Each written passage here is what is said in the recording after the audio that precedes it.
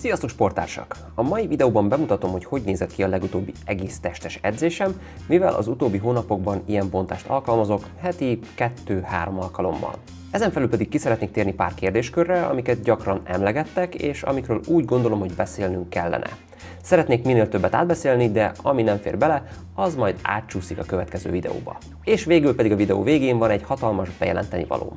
Na de vágjunk is rögtön bele. Az egyik kérdéskör, ami mindig feljön különböző formákban, az az itt látható gyakorlathoz fűződik, ami nem más, mint a jó reggelt, azaz a good morning gyakorlat. Ez egy klasszikus csípőhinta gyakorlat, ami a különböző felhúzások családjába vagy mozgás mintájába tartozik, hogyha úgy tetszik, hiszen ugyanúgy a hátsó láncot, azaz a combhajlítókat, feneket és gerincmerevítőket edzi elsősorban.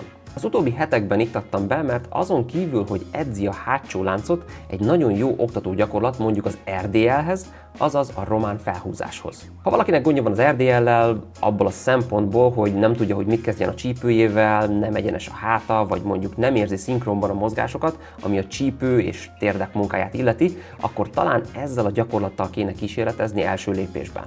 Mivel itt a súly a hát felső részén van, még jobban kihangsúlyozódik, hogy folyamatosan egyenesen kell tartani a hátat és gerincet. Nem tudunk simán csak előrehajolni, különben orra buknánk. Ezért kell a fenekünk lassú hátratolásával megpróbálni minél lejjebb vinni a felső testet, úgy, hogy egyensúlyban maradjunk. Az egészben pedig az a vicc, hogy megfelelően nehéz súlyjal végezve kötelezve vagyunk arra, hogy kontrolláltan csináljuk a gyakorlatot, mert különben kiesünk a súly alól, vagy elveszítjük a kontrollt. Csupán ezt szem előtt tartva ösztönösen egy jó csípőhinta gyakorlatot végzünk, amit később átültethetünk az RDL-be is, mivel ugyanaz a mozgás minta.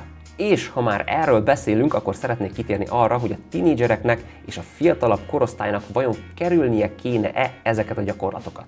Az én meglátásom az, hogy semmiféleképpen sem. Sőt, szerintem az átlagembernek kortól függetlenül első lépésben a hátsó láncot, azaz a combhajlítókat, feneket és gerincmerevítőket kéne edzenie, mielőtt még bármi mást megedzene.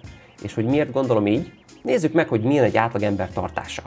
Előre esett vállak, előre görnyett nyak. A gyermekek már kiskoruktól kezdve hozzá lesznek szoktatva az üléshez, és ebbe a rossz pozícióba lesznek hosszú éveken keresztül belekényszerítve, amihez nagy részük hozzá is szokik felnőttként. Aztán x éves korban jönnek a különböző panaszok, hogy itt fáj, meg ott fáj, holott a kisgyermekek ösztönösen jól mozognak, és tökéletes tartásuk van. Ezt látom a kislányomon, aki lassan már jár, de az első pillanattól kezdve, amikor még csak felülni tanult, tökéletesen, egyenesen ült, és a nyaka és a feje automatikusan meghosszabbítása volt a gerincének és még mindig az egyébként, mert még mindig kicsi. És hogy miért is van így? Azért, mert most tanul mozogni, és hogyha nem így tartaná magát, akkor lehet, hogy nem is lenne meg az ereje megtartani a felső testét. Kilendülne az egyensúlyból úgy, mint mi egy good morning gyakorlatnál, vagy mondjuk egy rosszul végzett googolásnál. Ebből is látszik, hogy egy természetesen, ösztönösen tökéletes mozgást az életmód a hosszú évek során hogy el tud korcsosítani. Később persze erősebbek leszünk, és úgymond rossz pozíciókat is észrevétel nélkül meg tudunk tartani. Ez az oka például annak, hogy az új gyakorlatokat nem érdemes súly vagy ellenállás nélkül tanulni. Mindent olyan ellenállással érdemes tanulni, hogy automatikusan megbüntessen a súly, úgymond, hogyha rosszul mozgunk. Olyan súlyjal kell tanulni, hogy akarattal egy mozgás pályán tudjuk tartani a súlyt. Hogyan tanulsz meg ruddal googolni például, hogyha közben billegsz? Ha ruddal googolsz, lehet, hogy probléma nélkül meg tudod csinálni, hogyha nincsen rajta plusz súly, mert ugye kicsi az ellenállás vagy a súly, viszont hogyha ugyanezt csinálod 100 kg akkor már bizony, hogy oldalnézetből annak a rúdnak kb. egyenességben kell mozognia, különben kiesel alóla. Ha erősebbek a gerincmerevítőink, fenekünk és combhajlítóink, automatikusan jobb lesz a tartásunk is. Az izom nem csak, hogy tartást és támogatást nyújt a gerincnek, hanem az edzés során a csontjaink sűrűsége is nő, ami ellenállóbbá teszi őket, ami különösen fontos idősebb korban. Tehát az egyik oldalon itt van az ülő és telefonba görnyedő életmód, ami kérdés nélkül hosszú távú problémákat okoz, a másik oldalon pedig egy mozgásforma, ami kompenzálná ezen életmód hátrányait és enyhíteni vagy megszüntetni a problémákat. Ezen logikán alapulva én nem, hogy ellenezném, hanem javasolnám a felhúzásokat és csípőhinta jellegű gyakorlatokat, mivel ezek az izmok vannak hanyagolva a mindennapjaink során. Ehhez persze hozzáteszem, hogy megfelelő szakember segítségével érdemes elsajátítani ezeket a gyakorlatokat, hogy megfelelő technikával, intenzitással, valamint az ego kihagyásával sérülésmentesen sikerüljön megedzeni az említett izmokat. Itt nem világrekordok döntögetéséről beszélünk, hanem rekreáció vagy éppen rehabilitáció jellegű sportról, ami kellően megterhelő ahhoz, hogy pozitív változást eredményezzen, de nem annyira megterhelő, hogy sérülést okozzon. Ezért érdemes nem egy ismétléses maxokat húzogatni, hanem mondjuk 6-12 ismétlés közé célozni, és ehhez mérten olyan súlyt választani, amivel akár bukástól számolva egy, kettő vagy akár három ismétlésnyire vagyunk az egyes sorozatokban. És egyébként én is sokat ülök, és éppen ezért számomra is fontos, hogy kellően megedzem a hátsó láncot.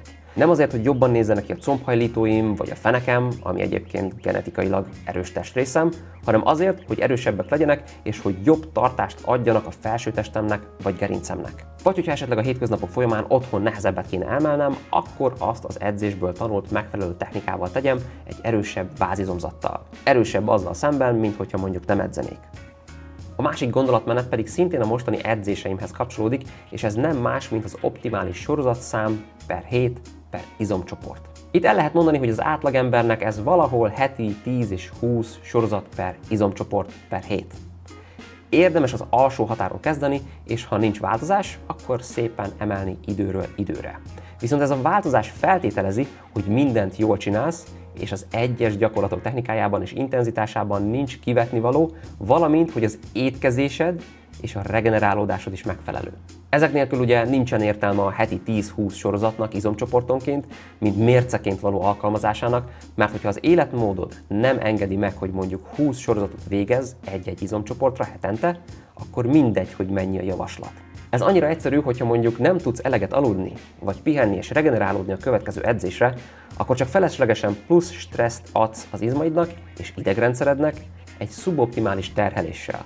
Azért szuboptimális, mert hogyha nem tudtál regenerálódni, akkor szerinted több ismétlést tudsz végezni, vagy nagyobb súlyjal, vagy kevesebbet. Én jelenleg például heti 8-10 sorozatot végzek az egyes izomcsoportokra, mert jelenleg heti 2-3 alkalommal tudok edzeni, és ennyiből tudok regenerálódni.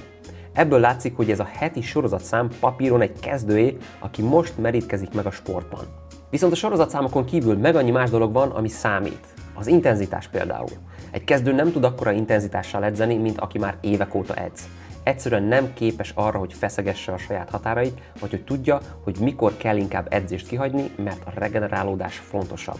Nyilvánvalóan nem állítom azt, hogy ezzel az edzésbontással és ezzel a sorozatszámmal fejlődök a legjobban, viszont a már felépített izmot megtartani sokkal kevesebb munkával is meg lehet, mint amivel az fel lett építve, ha ezek mellett ugyanúgy intenzíven edz az ember, és ha az étrend és a regenerálódás ezt igyekszik megtámogatni. Ezen felül pedig az ilyen életvitelbeli változások új hozzáállást követelnek és alkalmazkodást. Ha kevesebb időd van edzeni, akkor mik azok az eszenciális dolgok, amik megmaradnak, és mik azok, amik kiesnek, mert nincs idő és kapacitás rájuk. Rákényszerít a helyzet, hogy visszaülj a tervezőasztalhoz, és új vázlatot és terveket ves papírra, aztán teszteld az elméleteidet. Minél szűkösebbek az erőforrásaid, annál okosabban kell megtervezned az edzésmunkát. Ezek az erőforrások itt jelen esetben jelentsenek időt és azt a mennyiségű munkát, amiből még probléma nélkül regenerálódni tudsz következő edzésre vagy következő hétre. És záró gondolatként hozzáfűzném azt, hogy a kunst nem az, hogy képes vagy-e egy olyan edzéstervet összeállítani, amiből bárki összehányja magát, mert arra bárki képes. A kunst az, hogy képes vagy egy olyan edzéstervet összeállítani, ami éppen elegendő ahhoz, hogy az egyén fejlődjön, de nem túl sok ahhoz, hogy ne tudjon regenerálódni. Mert hosszú távon így tud ez a sportoló fejlődni, nem lesérülni, nem kiégni, és nem lebetegedni. És még mielőtt elköszönünk egymástól, van egy bejelenteni valóm. Sportársak, egy pár perc erejéig megszakítjuk adásunkat, ugyanis a Biotech USA Black Friday akciója által mindenre 20% kedvezményt kaptok, ami azt jelenti, hogy nem csak a táplálék kiegészítőkre, hanem a ruházatra is, november 24-én éjfélig. És mivel sokan szoktatok kérdezni azzal kapcsolatban, hogy miket fogyasztok, milyen táplálék kiegészítőket érdemes fogyasztani, ezért bemutatom azt, hogy a legutóbbi rendelésem során mit kaptam a Biotech USA-tól. Amint látjátok, itt van a kedvenc fehérjém, én a 100% Pure Weight részesítem előnyben, mert gazdag az íze, és nekem egyszerűen tetszik a Black Biscuit, a mogyorós, az almáspités, tehát ez az én étrendem és diétám kiegészítéseként szolgál, valamint fel is dobja azt, mivel finom és édes íze van. C-vitamin nagy mennyiségben 250 kapszulás, vagy hát ez nem kapszulás, hanem tablettás verzió, ugyanis ez segít megbirkózni a stresszel, akár mentális, pszichológiai, akár fizikai stresszről beszélünk. Természetesen itt láthatjátok a kreatin monohidrátot, ami nem csak hogy bizonyítottan pozitív hatással van a súlyzós edzésekre, illetve az explozív mozdulatokat végző, illetve tartalmazó edzésekre, hanem meg annyi pozitív hatása van, ami az agy biokémiáját jelenti, illetve az agy működését, a kognitív képességek, valamint a, a memóriának a megőrzését, úgyhogy ezt ezért szoktam fogyasztani.